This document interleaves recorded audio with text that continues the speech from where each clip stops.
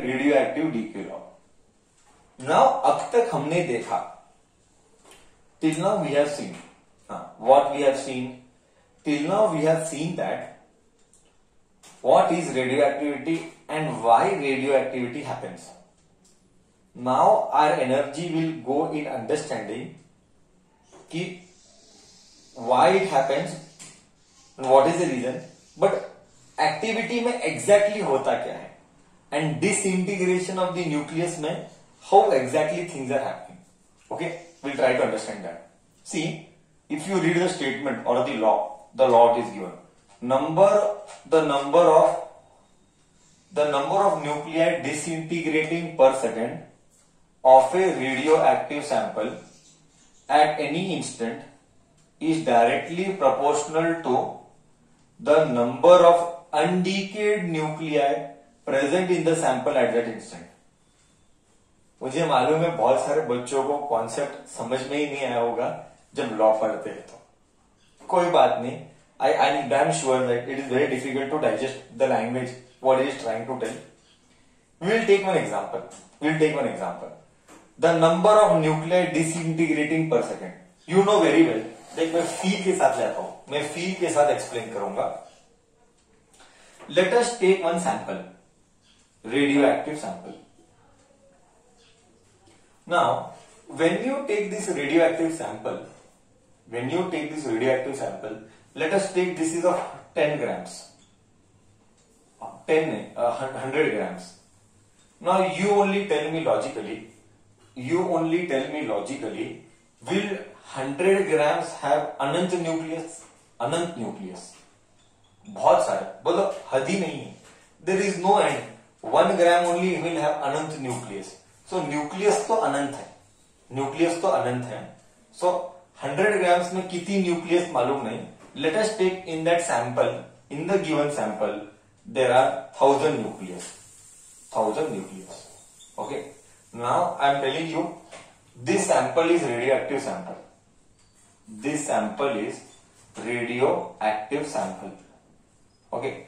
This sample is radioactive sample and i have given you 1000 nucleus now you know very well that a radioactive sample will disintegrate disintegrate matlab give out its mass in the form of energy gives out its mass in the form of energy and even few masses in other form it will give so ये nucleus जो है ये देता जाएगा radiation देता जाएगा concept क्या है लॉ क्या है? कॉन्सेप्ट क्या है?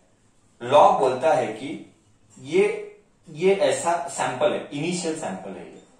ये इनिशियल सैंपल है। करेक्ट है? अब ये रेडिएशन देगा।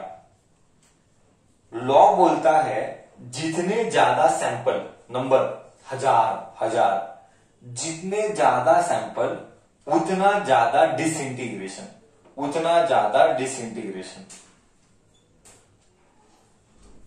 जितने कम सैंपल, कम डिसइंटीग्रेशन आई रिपीट लॉ क्या बोलता है? हज़ार न्यूक्लियस है तो डिसइंटीग्रेशन बहुत ज़्यादा है। अगर हंड्रेड हो जाएँगे सी कम होते होते होते थाउज़ेंड का कम हुआ नाइन हंड्रेड नाइन हंड्रेड का एट हंड्रेड कम होते जाएगा ना। न्यूक्लियस ये ये न्यूक्लियस जैसे एग्ज़ाम्पल है। ऐसा मत बोल न्यूक्लियस गायब हो जाएँगे, नहीं है। ओके ये जस्ट एन एग्ज़ाम्पल है। तो ये जो कम होते जाएँगे, ये जो पार्टिकल्स कम होते जाएँगे थाउज़ेंड का हंड्रेड हो जाएगा। तो तू बोल, जब थाउज़ेंड का हंड्रेड हुआ तो डिसइंटीग्रेशन भी ज़्यादा है कि कम है? अब सेकेंड केस में डिसइंटीग्रेशन ज़्यादा है, कम है कि सेम है? पहले जितना ही डिसइंटीग्रेट हो रहा था। मतलब नंबर ऑफ़ जो जो जो डिसइंटीग्रेशन पर सेकेंड होंगे वो ज़्यादा होंगे कि कम होंगे? अगर थाउज़ेंड न्यूक्लियस से हंड्रेड न्यूक्लियस बचे हैं तो डिसइंटीग्रेशन कम होंगे। अगर कम अवेलेबल है तो डिसइंटीग्रेशन भी कम होंगे ना। अगर कम अवेलेबल है सैंपल में, अगर मटेरियली कम है तो डिसइंटीग्रेशन भी कम होंगे। That is what laws is now you understand the law the number of nucleus disintegrating per second. Of a sample at any instant किसी भी वक्त। मतलब जो रेडियो एक्टिव सैंपल है और वो जो डिसइंटीग्रेट करेगा पर सेकेंड में किसी भी वक्त at any time at any time okay so sample later से लेटर से हमारे पास सैंपल एन है। है ना? एन वो वही है इधर।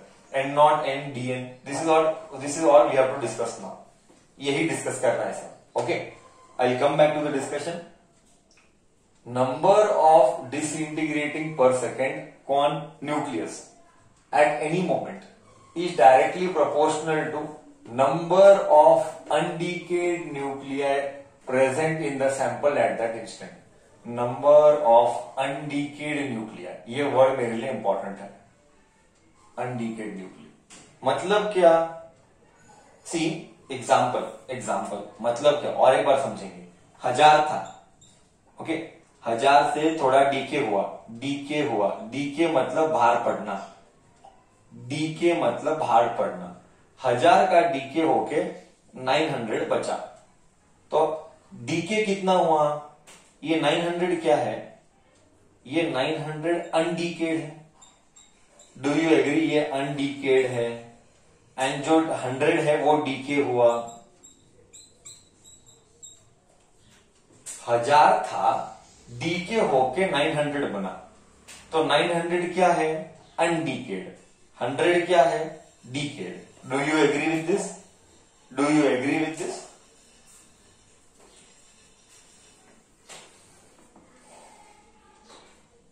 हाँ या ना? तेरे पास थाउज़ेंड था, तेरे पास थाउज़ेंड था हंड्रेड डीके हुआ तो बचा कितना? नाइन हंड्रेड करेक्ट है? तेरे पास थाउज़ेंड था हंड्रेड तेरे पास थाउज़ेंड था इनिशियली ये इनिशियल था, ये था इनिशियल इनिशियल ये इनिशियल कितना है? एन नॉट इसको हम एन नॉट बोलते हैं, कभी भी याद रख। इनिशियल को हमेशा एन नॉट बोलते हैं। Number of radio active radio active nuclear present at time T zero time T zero मतलब क्या? इनिशियल टाइम टी ज़ीरो यानी इनिशियल सो इनिशियल मेरे पास थाउज़ेंड था। एन क्या है? Number of radio nuclear present at any instant T तो मेरे पास कितना बचा? यही एन है। अनडिकेड बचा ना। What is N of radio active nuclear present at the instant time T मतलब पाँच मिनट हुआ। पाँच मिनट के बाद just an example we are trying to understand with an example I had thousand पाँच मिनट के बाद थाउज़ेंड नाइन हंड्रेड हो गया। थाउज़ेंड नाइन हंड्रेड हो गया। करेक्ट है? तो ये जो नाइन हंड्रेड है, ये अनडीकेड है। ये जो डीकेड है डीकेड कैसे निकालेगा फिर? डीकेड का फॉर्मूला क्या होगा? मैं रिपीट कर रहा हूँ। इनिशियल थाउज़ेंड है, वो एन नॉट है। पाँच मिनट के बाद after five minutes it decayed and you are left with nine hundred ये नाइन हंड्रेड अनडीकेड है और लेफ़्ट बिहाइंड है। और लेफ़्ट बिहाइंड है। हाँ तो ये डीकेड है हंड्रेड है। Now you tell me decayed का फॉर्मूला क्या होगा? Seeing the data seeing the data given below decayed का फॉर्मूला क्या बनेगा? सर डीकेड का फॉर्मूला बनेगा N not minus N correct correct बोला. Thousand minus five nine hundred thousand minus nine hundred is hundred what is thousand N not minus what is 900 बचा कुचा। 900 is बचा कुचा। Left behind undecayed that is n correct है? So, ये n not minus N ये है decayed कितना decay हुआ? तो लॉ क्या बोलता है? Come back to law law क्या बोलता है? लॉ ये बोलता है हज़ार रहेगा तो इंटीग्रेशन तो ज़्यादा ज़्यादा जाएगा। 900 है तो जरा कम कम जाएगा। डीके स्लो होगा। जो डीके का प्रोसेस है, जो डीके का प्रोसेस है, वो स्लो में चलेगा। चलेगा बट टाइम ज़्यादा लेगा। ओके मतलब एट अ टाइम बहुत ज़्यादा नहीं होगा। जितना थाउज़ेंड के लिए डीके होता था, उतना नाइन हंड्रेड के लिए डीके नहीं होगा। होगा बट कम होगा। यही लॉ लॉ क्या है? अभी पढ़ेंगे। The number of nuclei disintegrating per second मतलब डीके जो होगा डीके जो होगा पर सेकेंड डीके जो होगा सी ये है number of disintegrate nuclear per second अगर इसको ही समझ, समझते हैं लॉ का स्टेटमेंट का स्टेटमेंट बना लेते हैं रुको। लॉ का स्टेटमेंट बना लेते हैं ना। Number of nuclear disintegrating per second ये डीएन बाई डी ये डीएन क्या है?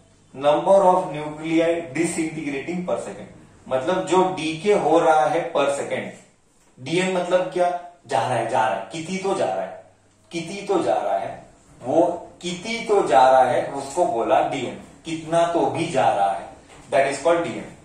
The number of nuclear disintegrating per second DN by D T is proportional to is directly proportional to number of undecayed nucleus what was the alphabet for undecayed nucleus what was the alphabet for undecayed nucleus i used one alphabet n very good i used the alphabet n number of undecayed nucleus ke liye i used the alphabet n is directly proportional to the undecayed nucleus present in the sample ye hai radioactive decay law this is radioactive decay law radioactive के law are you able to understand तो simple भाषा है, बहुत simple है। हज़ार है तो integration ज़्यादा होंगे हाँ? 900 है तो इंटीग्रेशन कम होंगे। तो कौन डिसाइड करेगा कितना कितना जाएगा? डी के कितना होगा, कौन डिसाइड करेगा? बचा कुचा जितना ज़्यादा बचा है डी के ज़्यादा होगा, कम बचा है, डी के कम होगा। हज़ार बचा है, डी के ज़्यादा होगा। 500 बचा है, डी के कम होगा। 100 बचा है तो डी के उससे भी कम होगा। इसको क्या है? इसको इंग्लिश में बोला गया रेडियो एक्टिव डीके लॉ जो डिसइंटीग्रेट होगा, वो किसके ऊपर डिपेंडेंट है? जो डिसइंटीग्रेट होगा, वो किसके ऊपर डिपेंडेंट है? Is directly proportional to undecayed nuclear बचा कुचा डिसइंटीग्रेशन बचा कुचा के ऊपर निर्भर करता है। इट डिपेंड्स ऑन दैट बोल the law is clear you should get a minus sign है can you tell me why why am I putting the minus sign can anybody tell me why am I putting that minus sign can anybody tell me why am I putting the minus sign because वो कम हो रहा है।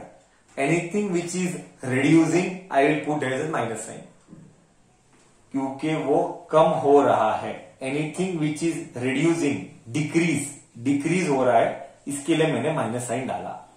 बोल concept दिमाग में सब कुछ गया। ये था radio active decay law statement डाला इधर। वेरी इंपॉर्टेंट स्टेटमेंट डाला इधर। मैंने एन नॉट क्या होता है? एन क्या होता है? डीएन क्या होता है? मैंने कहा। If you want, once again I will tell. N naught is initial sample.